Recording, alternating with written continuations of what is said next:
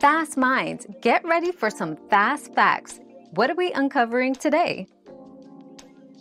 In Alberta, lottery winnings are not subject to taxation. This means if you hit the jackpot or win any amount in a lottery, you keep it all. The Canada Revenue Agency does not consider lottery winnings as taxable income, so you can enjoy your windfall without worrying about a tax cut. However, it's wise to consult a financial advisor for managing large sums and understanding potential implications on investments. Our quest for knowledge never ends. Thanks for being part of today's discovery. Subscribe, like, and share to join us on the next one.